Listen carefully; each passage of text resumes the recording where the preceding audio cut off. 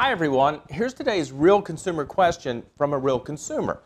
Chad writes, Dale, please help me with the duplex we rent. We moved into it last year, but the home has been falling apart. I have to use pliers to turn on the hot water every time I shower. There are a lot of rats running around, and our kitchen sink leaks all over the place. There are many other issues too, and I have told my landlord about the problems, but she has done nothing. That's from Chad. Well, Chad, there are some things you can do. First off, we hope you feel safe where you're living. Some of your problems can be scary.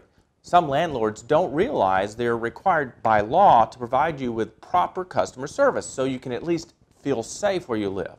So here's what you need to do. Document in writing and take photos of everything and give them to your landlord with your next rent payment.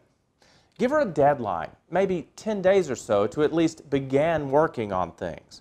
If she fails, you do have some legal rights.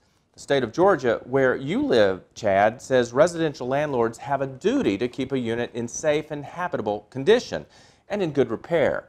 The landlord must maintain the building structure, keep electric, heating, and plumbing in working order, and exercise ordinary care to keep the unit and access safe for tenants. If you didn't notice any obvious defect during the move-in inspection, the landlord is not required to make the fixes. That is, unless the defects make the unit unsafe or unsanitary.